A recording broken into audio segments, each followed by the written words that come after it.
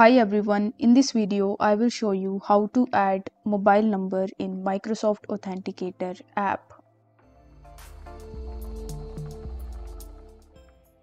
So first of all you just have to launch your web browser. You can do it in your PC or in your mobile device and in the search bar of it you will have to type microsoft.com and then you just have to log in into your account first. Now once you have successfully logged in, you need to navigate to the top and you simply need to click on the option of your info.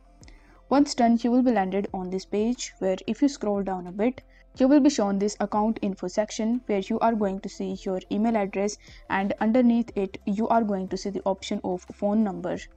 It will show you whether you have added your phone number or not and as you can see over here that in my case I haven't added any phone number. So in order to add phone number, you will have to click on the option of edit account info first. After that, you may be asked to provide your password. So you just have to provide your password again. It is for the security purpose. Now over here, you will have to click on the option of add phone number. After that, you will have to select your country and then you will have to provide your phone number. After that, you will have to verify your phone number by providing the 6-digit OTP and then you will be able to easily add your phone number on Microsoft Authenticator app. If the video was helpful, then don't forget to like the video and subscribe to the channel. Thank you so much for watching.